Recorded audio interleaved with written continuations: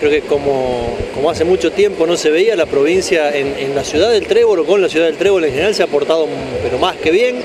Eh, de hecho, no solamente en el caso puntual de obras directamente relacionadas con la ciudad, como puede ser la planta de Osmos y la vivienda, sino con, por ejemplo, la ruta, la, pavimentación de la, de la 40S, que hace mucho tiempo que se estaba esperando y demás, creo que se ha se ha acercado dinero, obras y distintas cuestiones que se venían reclamando de hace tiempo y, como decís vos, con el aporte de, todos se, logran obras que son sumamente importantes. Bueno, esta fundamentalmente en cuanto a la cuestión sanitaria, ¿no?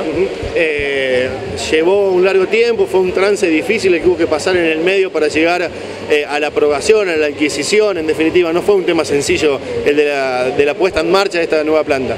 No, no, no fue sencillo, pero creo que vale, vale los esfuerzos. O sea, más allá de, las complicaciones que pueden haber surgido y demás, yo creo que eh, el esfuerzo, cuando uno ve la obra concretada, vale cualquier esfuerzo porque se logró, en definitiva, se llegó.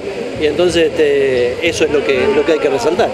Eh, como presidente del Consejo, en su momento una de las frases que salía del recinto era, en la medida que se cumplan los parámetros, en la medida que la cooperativa haga bien los deberes, por decirlo de una manera, el Consejo lo va a acompañar.